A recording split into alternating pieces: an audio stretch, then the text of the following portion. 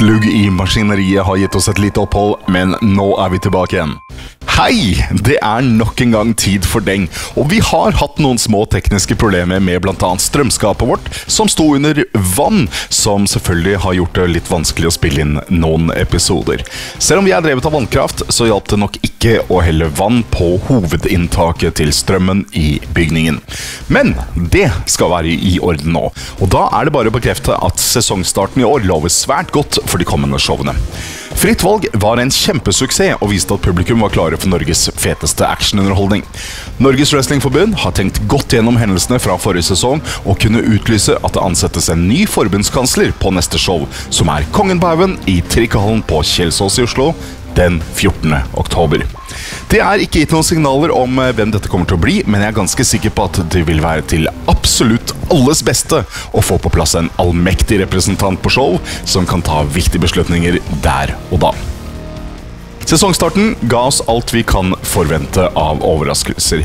Og i dag skal jeg skjemme dere bort med å vise litt fra to kamper i denne episoden. De hadde strengt tatt ingenting med hverandre å gjøre, men Inkognito ville det annerledes. Først så tar vi en titt på den fantastiske Russland, som er kjent for høyt tempo, men også var en solid teknisk utfordrer for den tidligere norgesmesteren Viktor Dale.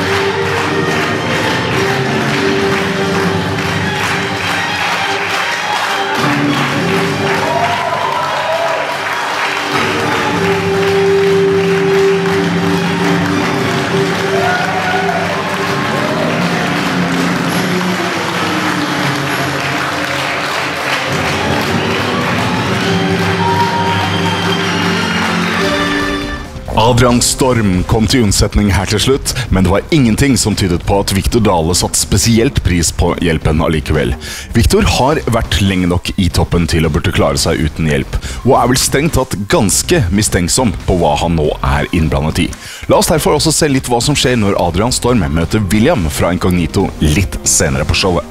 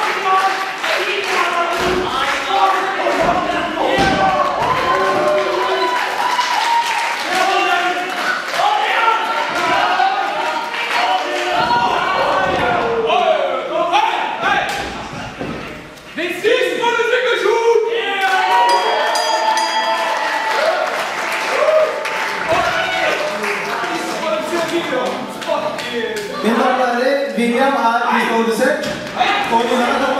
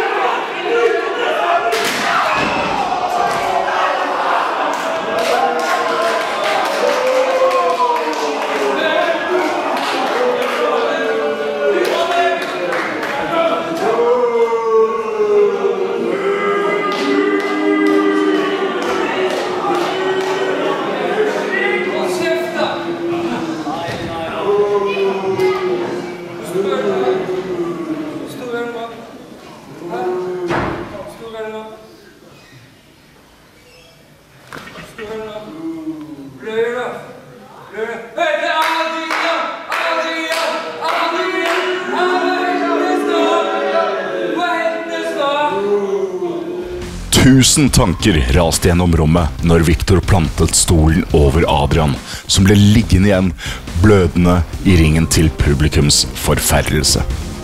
Adrian har aldri vist Viktor annet enn respekt, så her sitter vi alle igjen som spørsmålstegn. Aldri før har stillheten rundt ringen vært så total og tydelig signalisert frustrasjon og håpløshet som når dette storslaget traff.